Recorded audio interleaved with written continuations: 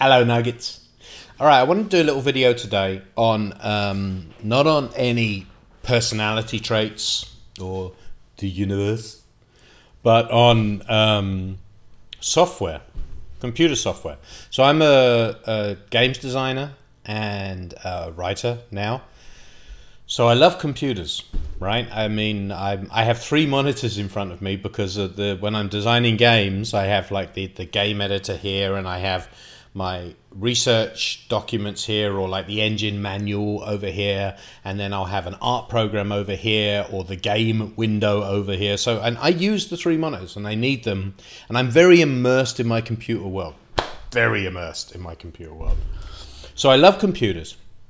So when I move into when I'm writing, I want to engage in my computer. I want to use my computer to help with my writing.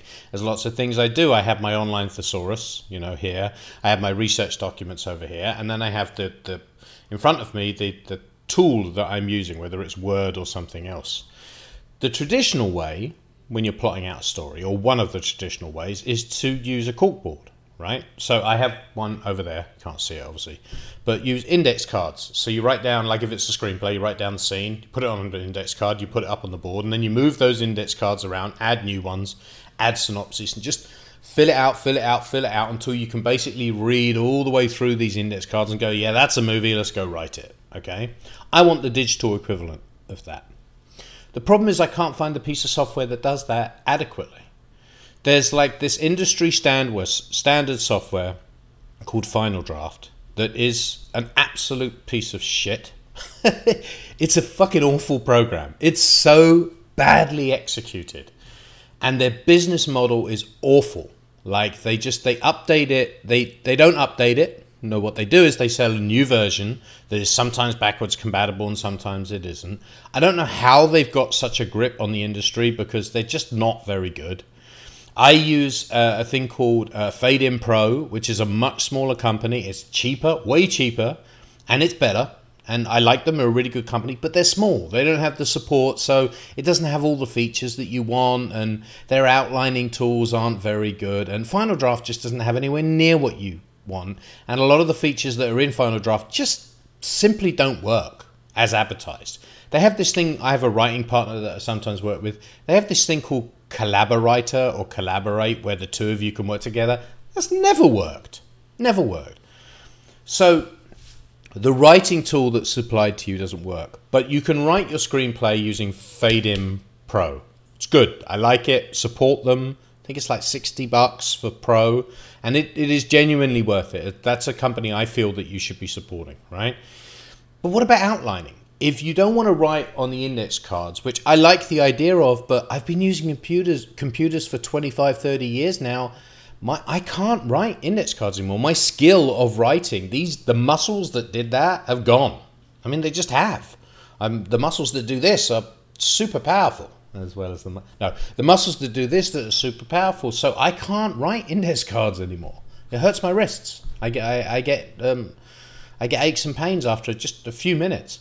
So I need to type it, right? And you can't print out. I'd like to type and print the index cards, as ridiculous as that sounds, because I like the tactile visual idea of looking. But then you need a special printer, or you have to set your printer up with index. I mean, it's just a nightmare, right?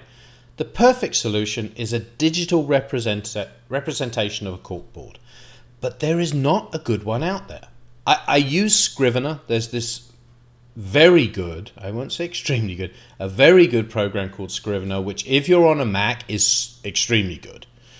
Because I used to use it when I had a Mac system, and it is extremely good. It's really good whether you're whatever you're writing, right? Because it's kind of a like a binder system where you put all of your information into it and break it up, especially if you're a novelist. Like it's really, really good.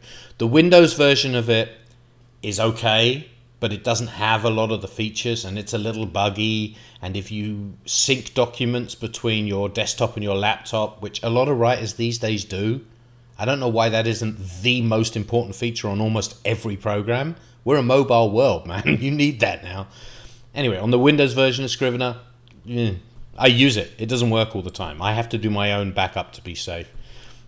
So Scrivener, which I think is probably the leading um, uh, software in the market for whatever they call that brand of software. It's okay. It's not great. The corkboard is a bit clunky. I can't find a good piece of software for outlining programs, and I've tried for outlining stories, and I've tried so many of them, and drive me it drives me absolutely nuts. You know, I actually have an outline of an idea for uh, a program called DevWrite, which is specifically for outlining stories for games, movies, television, and, and, and various other things for developing ideas that will allow you to do animation if you're in games, to do um, storyboarding if you're in movies, to do sketching if you're in graphic novels. Like so, a, a system that allows everyone to outline and then write the full story. Um, because it just doesn't seem to be out there. Or if it is out there, they all have their own individual problems, and there isn't a standard that everyone uses. Or in the case of Final Draft, the standard that everyone uses is just a shitty piece of software. So I don't know. I guess this turned into more of a rant. It's just you know I went out today and I wrote in Scrivener. I just got frustrated with it. I'm like, why doesn't it do this thing? This is annoying. This is what I don't know.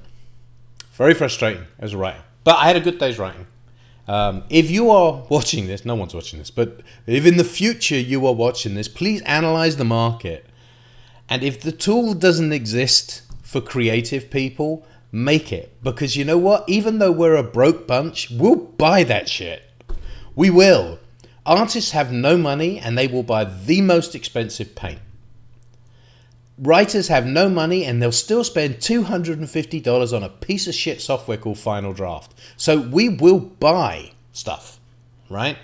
Just go out and make the program. And if you need to charge $300 for a piece of writing software which is actually well executed and allows you to cover multiple monitors and has a thesaurus and has a research and a binder and all of that kind of stuff and a corkboard and is really well executed, we'll spend $300 on it. So go make that right now. You go make it.